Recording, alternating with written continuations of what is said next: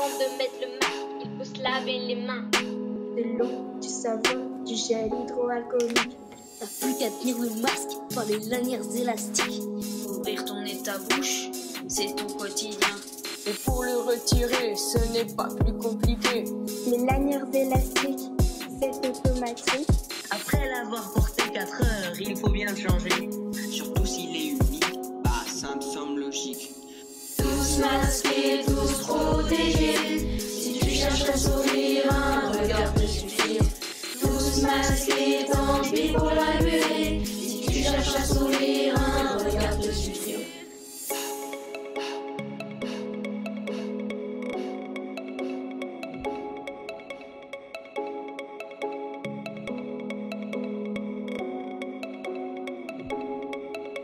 Au fil de la journée, il faudra éviter De le toucher, bouger ou même tripatouiller.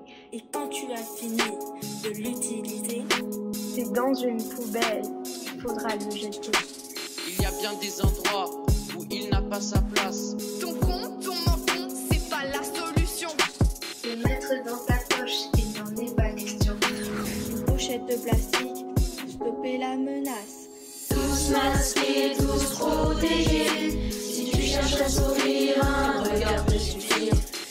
Tous masqués, tant pis pour la buée. Si tu cherches à sourire, un regard te suffire. Yeah!